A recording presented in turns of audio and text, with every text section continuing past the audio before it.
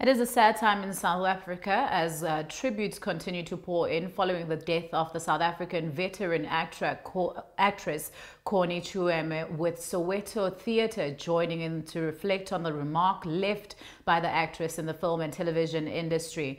Now, the passing of the award-winning actress was confirmed by her family, stating that she took her life last breath at the Garden City Hospital in Johannesburg yesterday. Now, having graced South African screens for decades, Chiume has been remembered by many for her exceptional talent and passion for acting, which has seen her star starring in several shows in the country, including Gomora, and being featured in a well-known international film titled Black Panther.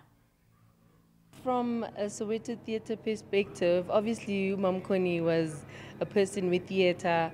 Um, I think she added much value within the arts and, and, and, and within the arts industry. Mom Connie was um, a, a, great theatre thespian and ufage a lot of role in terms of the arts and the, and the culture of theatre and obviously film.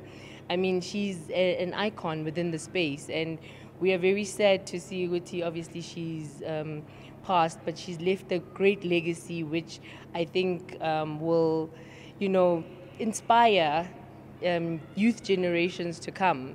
So I think she was a, a legend. Um, she was she was just amazing. She was an amazing person, and um, I mean, we all looked up to her. Um, I mean, she did things like Aboma Wakanda. Um, she was in theater as well. So it's definitely a, a, sad moment for us as well. And also, we were going to give her a star, which we still are.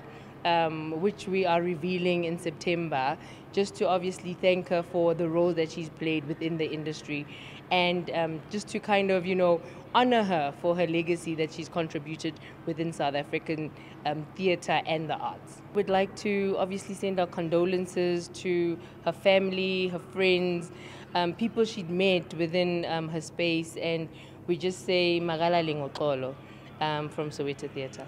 The mining tribe will not challenge today.